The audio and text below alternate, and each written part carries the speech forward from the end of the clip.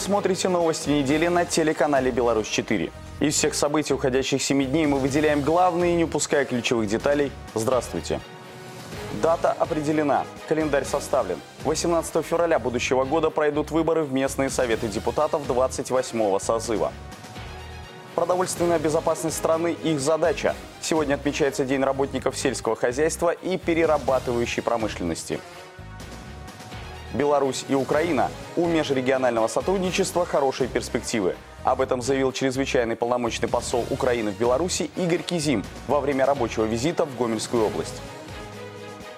Юные звезды большого тенниса. Наш корреспондент Максим Савин посетил профильный центр Олимпийского резерва и узнал, как тут воспитывают будущих чемпионов. Какой была неделя из жизни региона, расскажем в ближайшие 26 минут. В Беларуси выборы в местные советы депутатов 28-го созыва назначены на 18 февраля. Дата, ранее предложенная Центром избиркомом, утверждена указом президента. Госорганам и другим организациям поручается обеспечить подготовку и проведение выборов. Правительство в том числе должно профинансировать избирательную кампанию. На этой неделе Центр избирком провел первое заседание и утвердил в том числе избирательный календарь. Следующий этап – образование территориальных комиссий. Их будет 1309. И лишь затем выдвижение кандидатов. Оно начнется 10 декабря и продлится почти месяц. Ну а пока действующий депутатский корпус продолжает работу с населением, ведь решение насущных проблем горожан и сельчан остается его главной задачей. На уходящей неделе в Будокошелевском районе прошел День депутата. Он включил посещение учреждений социальной сферы и встречу с местными жителями. Главная цель – увидеть реальную картину на местах, чтобы затем найти точки соприкосновения для разрешения самых острых вопросов. Подробности в нашем следующем материале.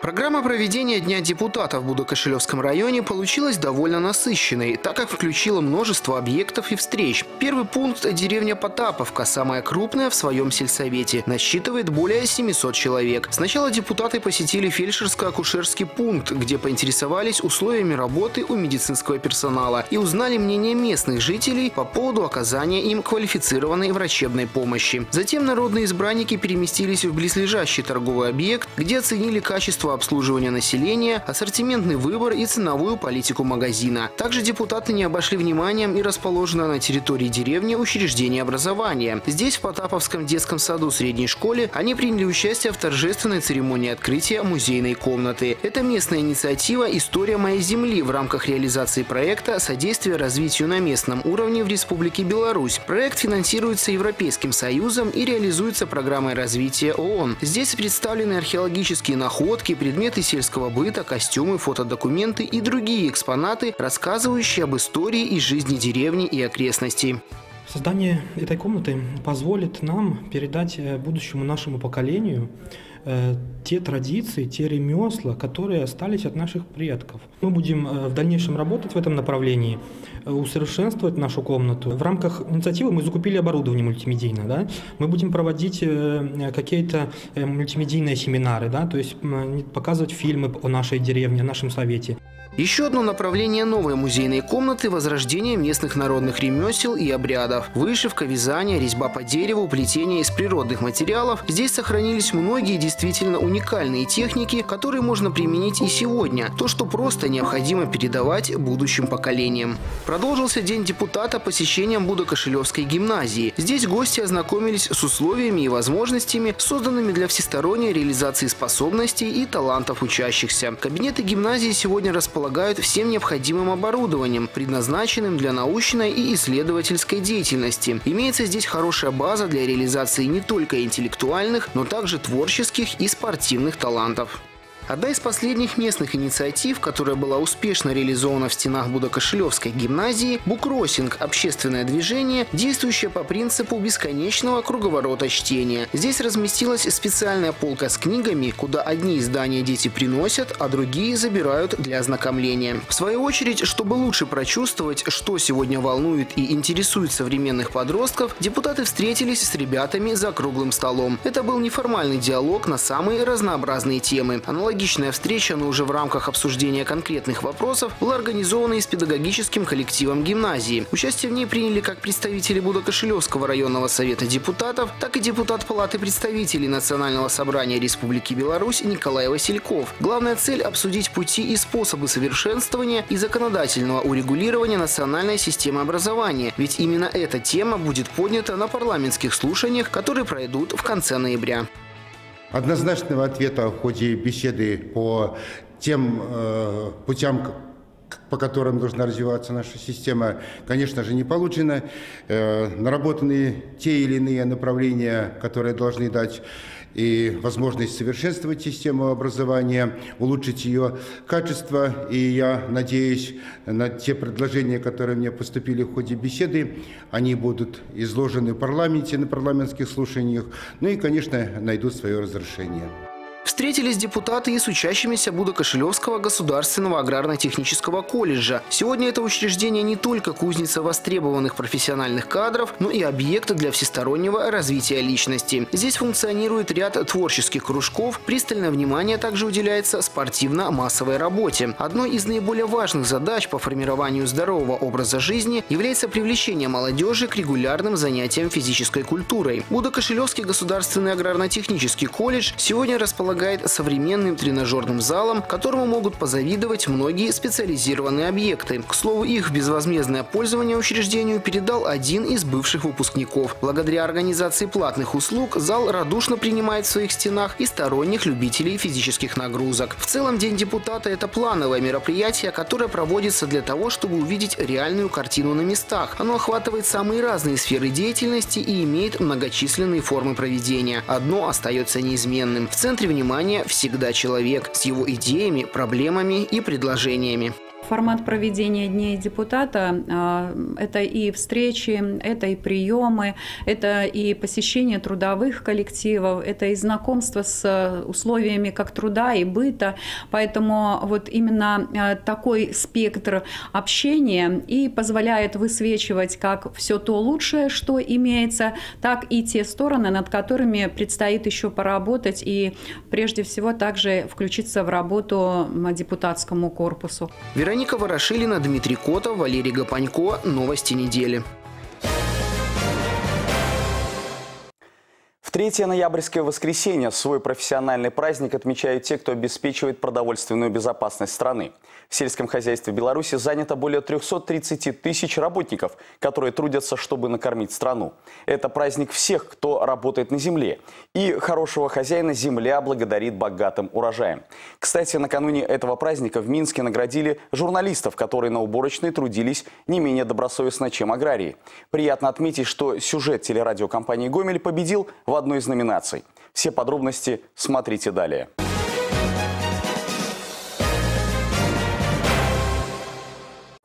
В этом году до миллиона тонн зерна Гомельской области не хватило всего около полутора тысяч тонн. Увеличить объемы собранного урожая планируется за счет зерна кукурузы. По оперативной информации облсельхозпрода, сейчас ее намолочено более 270 тысяч тонн. Полностью завершить уборку кукурузы на зерно планируется до конца следующей недели. Овощи уже убрали полностью. Закладка продукции в стабилизационные фонды области также выполнена в полном объеме. В места хранения помещено более 2000 тонн картофеля, капусты, капусты, свеклы, моркови, лука и яблок. Специалисты уверены, что в межсезонье жители региона смогут приобретать овощи по доступным ценам помощь аграриям современная техника. На Гумсельмаше создают суперкомбайн. По своим возможностям машина будет превосходить зарубежные аналоги. Всех деталей гомельские конструкторы пока не раскрывают. Однако известно, что ничего подобного по мощности ранее на предприятии не делали. Первые испытания должны пройти в следующем году. Кстати, в этом году Гомсельмаш выпустил пять новых моделей сельскохозяйственной техники. Среди них и уникальный комбайн на газовом топливе.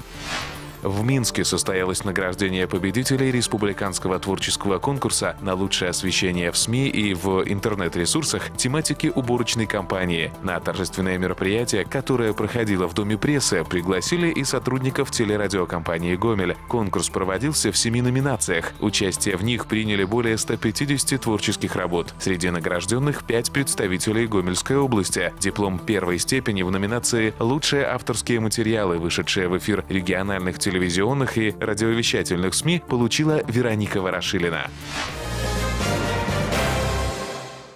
В пятницу 17 ноября молодежь отметила один из самых любимых своих праздников – Всемирный день студента. Среди стран Содружества Беларусь в лидерах по соотношению количества студентов к численности населения. Какой он, современный гомельский студент, и кто среди них в этом году признан лучшим, узнала Анна Корольчук. На Гомельщине сейчас действует шесть государственных учреждений высшего образования, в которых учатся более 33 тысяч студентов. Большинство молодых людей выбрали дневную форму получения образования. При этом в студенческой среде соотношение девушек и парней 55% против 45%. В каждом из вузов проходят обучение и иностранные студенты. Их в нашей области более 2000. Это представители Индии, Таджикистана, Йемена, Шри-Ланки, Нигерии и других стран. По данным Главного статистического управления Гомельской области, наиболее популярными среди студентов студентов по-прежнему остаются специальности экономического и юридического профиля, а также сфера коммуникации и организации производства. На втором месте специальности профиля техника и технологии, на третьем – педагогика. Кстати, накануне праздника в Гомеле определили лучшего студента области. За это звание и право представлять наш регион в финале республиканского конкурса боролись шесть студентов. Это победители отборочных этапов, которые прошли в каждом университете области. Все конкурсанты имеют высокую успеваемость, участвуют в научных конференциях, спортивных соревнованиях, и ведут активную общественную деятельность. Лучшие студенты нашего региона демонстрировали свои творческие способности и лидерские качества в пяти турах. Так, еще до финала каждый участник подготовил для жюри портфолио своих достижений, а также видеоролик самопрезентацию. Я занимаюсь научной деятельностью,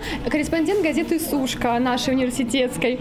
Также я занимаюсь модельным фитнесом в нашей спортивной секции, участвую в мероприятиях различных в качестве ведущей, танцую, пою и так далее. Все, конечно, достойны. Ну, возможно, какие-нибудь лидерские качества, ну вот, творческие качества. Ну и поддержка, поддержка, конечно. Первым испытанием на сцене стала визитка под названием «Я студент своей страны». Николай Литовкин, представитель ГГУ имени Франциска Скорины, например, выступил в стиле рэп. Здесь не букинг, Андрей, мы уходим в отрыв, ну а сейчас самый вкусный отрывок. Студент года – это то, чего не хватало, ведь в прошлом я лучший абитуриент квартала. Первый и самый ответственный. В этом творческом номере я презентую самого себя, свой и частично свой факультет, как я попал на этот конкурс, как я о нем узнал и на что планирую. Свою эрудицию молодые люди показали в интеллектуальном конкурсе, где отвечали на вопросы, связанные с историей нашей страны и биографией известных белорусов. Для меня был интеллектуальный конкурс немного тяжелее, потому что были такие вопросы, что знал ответы, что не знал. Просто волнение было. А так все просто. Сейчас готовимся к творческому. Последний творческий конкурс в этом году назывался «Беларусь. Источник вдохновения» и должен был отражать национальную тематику.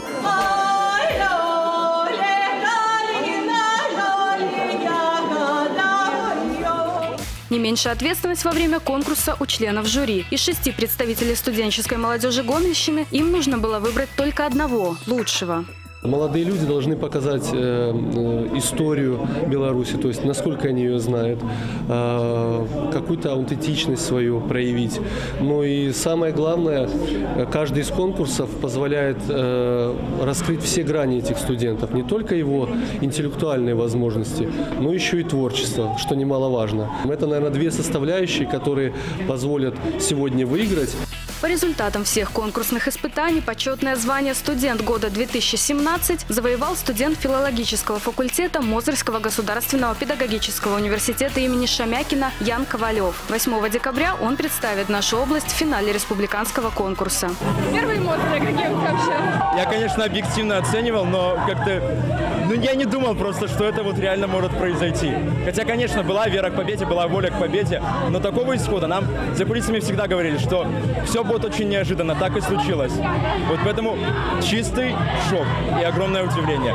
Ну и огромная благодарность, конечно, всем. Я Ковалев лучше всех! Анна Корольчук, Валерий Гапанько. Новости недели. Вы смотрите новости недели. Мы говорим о главных событиях уходящих семи дней. Программу продолжит обзор от службы информации.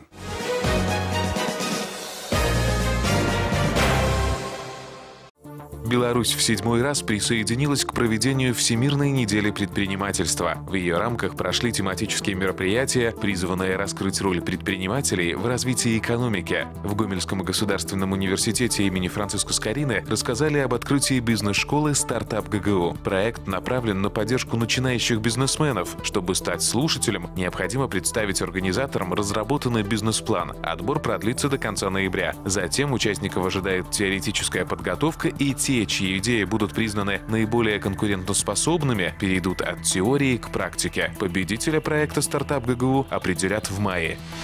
Дискуссию по актуальным вопросам развития предпринимательства провели и в научном кафе, которое действует при областной универсальной библиотеке. Сегодня существует несколько показателей, касающихся развития предпринимательства. Среди самых престижных – рейтинговая оценка Всемирного банка Doing Business. В этом году Беларусь заняла в нем 37 место среди 189 стран. Для сравнения, в 2010-м республика была на 58 позиции.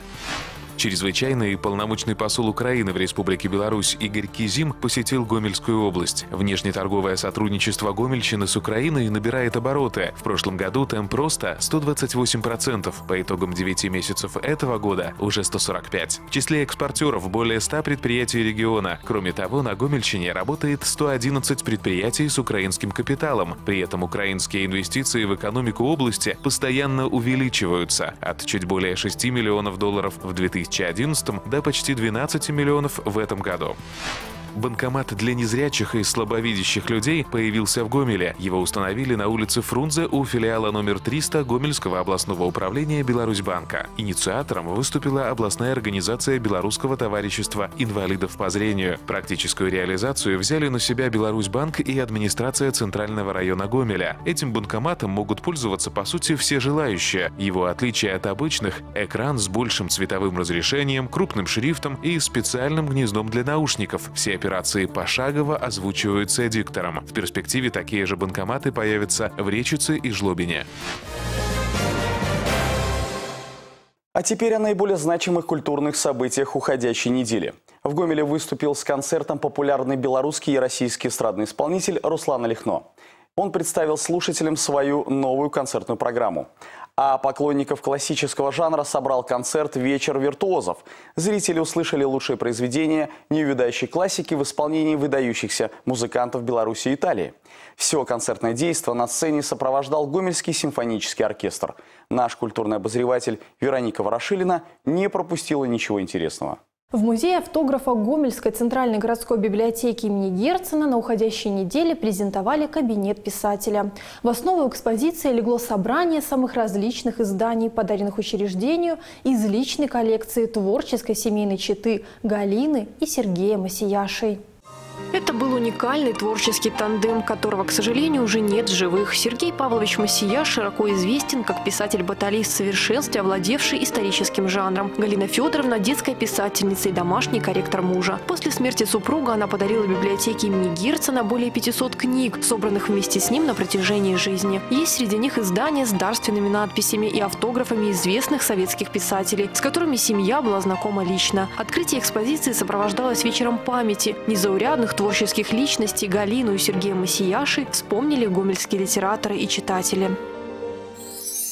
А в областной библиотеке имени Ленина открылась выставка авторских кукол гомельчанки Екатерины Минаковой. В экспозиции представлено семь творческих работ мастера, посвященных джазовой тематике. Екатерина Минакова – участница многочисленных международных конкурсов. Ее работы находятся в частных коллекциях Беларуси, России, Эстонии и Испании. Автор признается, каждая ее кукла имеет свой характер и индивидуальность. При этом она не пытается делать их идеальными, а наоборот старается продемонстрировать определенные пороки и слабости, присущие человеку человеку. От этого куклы Екатерины Минаковой словно оживают перед посетителями. А в областном общественно-культурном центре тем временем состоялся концерт популярного белорусского эстрадного исполнителя Руслана Олехно. Он давно и прочно занял место на музыкальном Олимпе. Руслан Олехно – победитель конкурса «Народный артист», участник Евровидения-2008, обладатель ордена за вклад в развитие культуры России и многих других наград, подтверждающих любовь зрителей и высокую оценку профессионалов. В Гомеле артист выступил со своей новой программой «Я подарю тебе любовь». В нее вошли как полюбившиеся хиты, так и совершенно новые композиции репетиции, в том числе на итальянском и испанском языках. Искренность, артистизм, элегантность исполнения Руслана Олехно вызвали овации зрителей.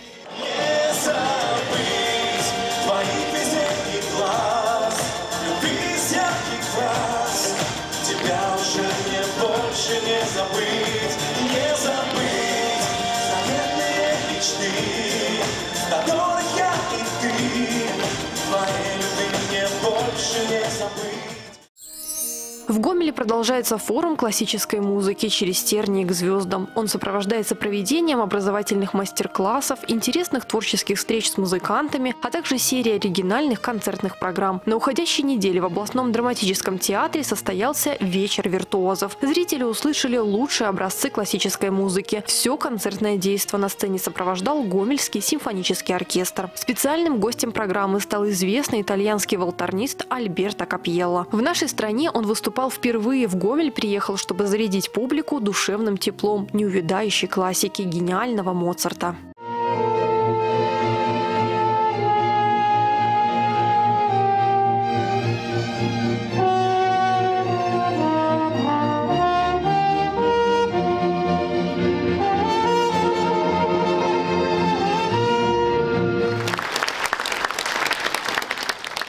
На одной сцене с итальянским маэстро выступили и известные белорусские музыканты. В исполнении талантливого виолончелиста Михаила Радунского прозвучали вариации на тему «Рококо» Петра Чайковского. В свою очередь, один из ведущих гитаристов нашей страны Ярослав Макарич порадовал зрителей колоритными произведениями испанского композитора Хоакина Родриго. На следующей неделе в рамках проведения третьего форума классической музыки в областном драматическом театре состоится концерт «Оперетту в студию». Свое творчество зрителям подарят талантливые белорусские исполнители, лауреаты республиканских и международных конкурсов. Концертная программа будет наполнена яркими хореографическими номерами. В свою очередь музыкальное сопровождение вечера представит Гомельский симфонический оркестр. А тем временем Реческий краеведческий музей всех желающих приглашает посетить выставку экзотических насекомых «8 лап». Здесь можно увидеть редких пауков и тараканов, а также других уникальных представителей тропической фауны разных континентов. Самыми интересными культурными событиями региона вас знакомили Вероника Ворошилина и Евгений Макеенко. Обзор подготовлен специально для программы «Новости недели». На минувших выходных Беларусь жила теннисом. При переполненных трибунах Чижовка-арены в Минске проходил финал Кубка Федерации. Это неофициальный чемпионат мира среди женских сборных. Команде Беларуси, впервые пробившейся в главный матч турнира, противостояли 17-кратные обладательницы Кубка Федерации – американки. Несмотря на титулы и ранги, белорусские успешно противостояли соперницам. Победить не удалось.